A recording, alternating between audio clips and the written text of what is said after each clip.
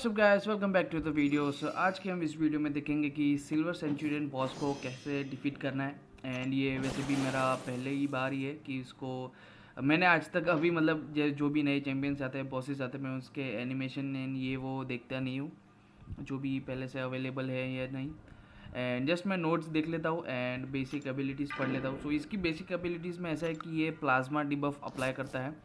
And जो भी लोग अभी आयन मैन इन्फिनिटी वॉर खेलते होंगे, उनको पता है कि प्लाज्मा डिबफ जो है, वो दो एक सेपरेट डिबफ एक साथ अवेलेबल हो, तब आता है, जो कि है शॉक डिबफ और इंसनेट एंड वही हमारे पर जो बॉस के ऊपर नोड है कि बहुत ही कम डैमेज करने वाला एक जो है शॉक डिबफ और उसके साथ ही इंसिनेंट डिबफ आएगा। तो उसके बाद जो है, दोनों के दोनों अगर हमारे ऊपर एक्टिव हो एंड उस टाइम पर आप डैमेज लो उसके प्लाज्मा से क्या कहते हैं, सिल्वर सेंचुरियन के प्लाज्मा से तो आपके ऊपर एक्चुअल प्लाज्मा डीबफ आएगा, जो कि आई गेस पैसिव है। एंड वो काफ़ी अच्छा खासा डैमेज करेगा एंड डेफिनेटली आप वो नहीं चाहते।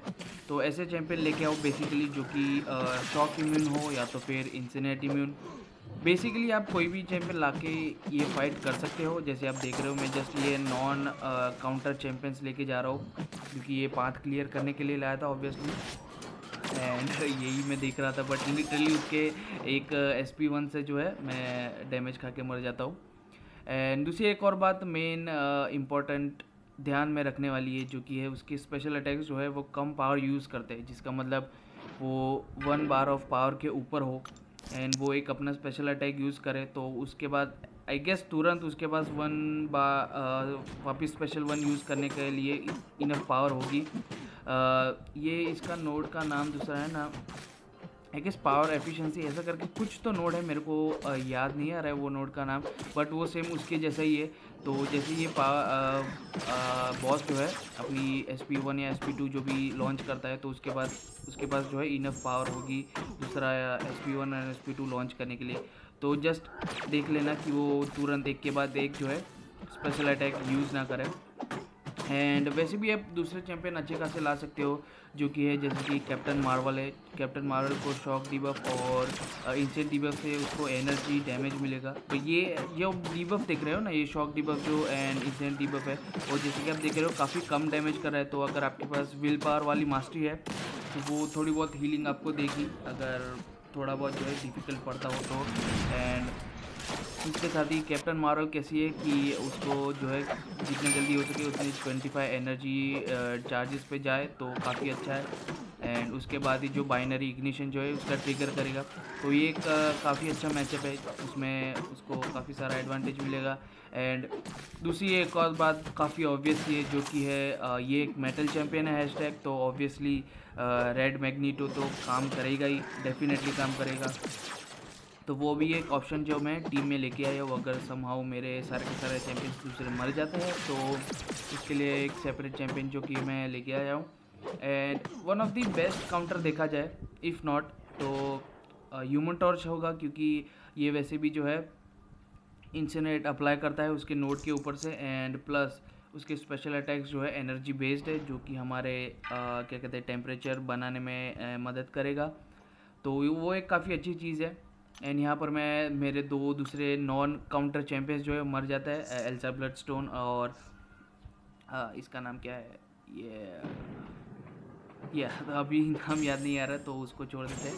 एंड या मतलब मैं ह्यूमन टॉर्च इसीलिए लेके आया था जस्ट बिकॉज़ वो इंसिनेट इम्यून है एंड प्लस उसकी प्रीफाइड एबिलिटी से वो जो है नोवा फ्लेम्स अप्लाई करेगा एंड नोवा फ्लेम्स में जो है वो पावर स्टिंग डिबफ अप्लाइड है मतलब कि और डैमेज करेंगे।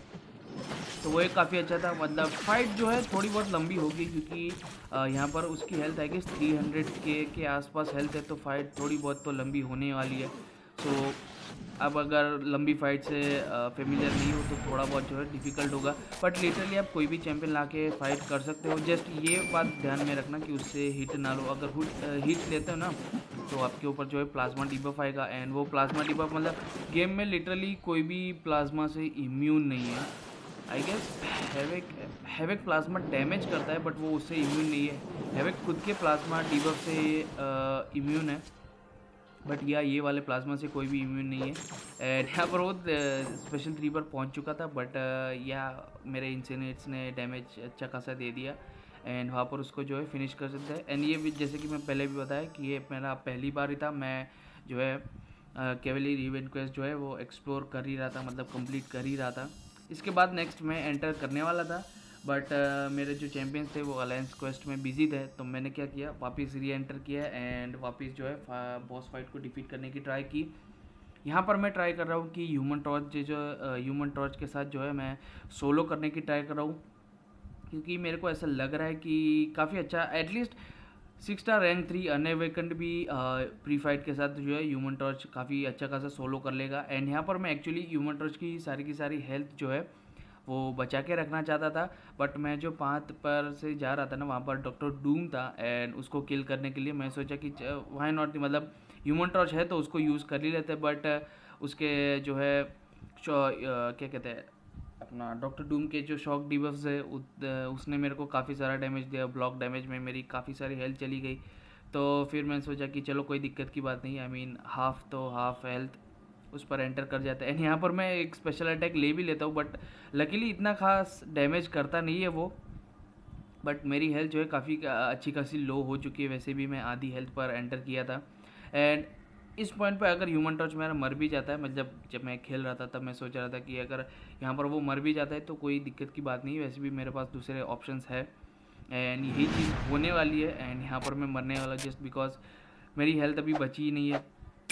एंड एंड एंड में देखना मतलब अगर आप काफ़ी अच्छे प्लेयर हो, आपके पास six star rank two rank three Human Torch है तो डेफिनेटली आप जो है कर सकते हो। एंड जैसे कि मैंने पहले भी बताया, आप लिटरली दूसरे कोई भी चैम्पियन से इसको डिफीट करते, कर सकते हो सेंचुरियन बॉस को। मतलब ऐसा नहीं है कि अगर आप ये चैम्पियन ना ले जाओ तो लिटरली आप इस फाइट को कर भी नहीं सकते, ये वो। सो या आई मीन आप डेफिनेटली कर सकते हो। एंड क्या आई मीन इसके बाद जो फिर है, मैं मैग्नीटो अपना लेके आता हूँ। क्योंकि मैग्नीटो जैसे कि अपोनेंट यहाँ पर सिल्वर सेंचुरियन जो है, वो क्या कहते हैं हैशटैग मेटल है तो डेफिनेटली मैं उसको लेके आया था as a side option and lock on पता नहीं इसकी एबिलिटी इतनी अच्छी खासी जो है मेरे को अप्लाई होते हुए दिखी नहीं. लॉक ऑन एबिलिटी कुछ तो है, जो कुछ तो करती है बट वो मेरे को इतना खास कुछ दिखा नहीं. एंड होपफुली इस बार अगर ना मरूँ तो अच्छा है. तो वैसे भी मतलब काफ़ी कम हेल्थ बची है, जैसे ही वो उसका लास्ट फ़ेज़ में आ जाता है. जैसे कि क्या कहते हैं असेसन मास्टर्स के रेंज में आ जाता है, जो कि 18 परसेंट वाली हेल्थ होती है. तो वहाँ पर जो है मैं काफ़ी सारा डैमेज अच्छा खासा कर पाता हूँ। एंड पता नहीं आपने ध्यान से देखा हो कि नहीं, मैंने सुसाइड मास्टरीज निकाल दी है। एंड ये एक्चुअली ना मैंने पिछले last year second last war वाले उसमें किया था मैंने कि मैंने जो है, ये देखो ये मेरे ऊपर जो है प्लाज्मा डिबफ अप्लाई हुआ क्योंकि मैंने उस, मेरे ऊपर जो शॉक डिबफ अप्लाई था एंड उसके ड्रोन्स ने I guess incinerate debuff apply किया। एंड उसके बाद जो है मेरे ऊपर प्लाज्मा डिबफ हो गया। तो वो प्लाज्मा डिबफ जैसे कि पैसिव था एंड वैसे भी कोई भी चैम्पियन इस गेम में प्लाज्मा से इम्यून नहीं है। तो जस्ट उस बात का ध्यान रखना कि आप डैमेज ना लो। एंड इसके बाद ट्राई करूँगा मैं जवारी पैंथर का मतलब मैक्स टू मैक्स एक या दो दिन में, मैं ट्राई करूँगा वीडियो बनाने की कि जवारी पैंथर का भी जो है बॉस डिफीट वाला वीडियो आ जाए। एंड या आई गेस इतना ज़्यादा है वीडियो एंड अगर वीडियो पसंद आई हो तो लाइक कर देना। चैनल पर नए हो तो सब्सक्राइब कर देना। टिल देन मिलते हैं नेक्स्ट वीडियो में।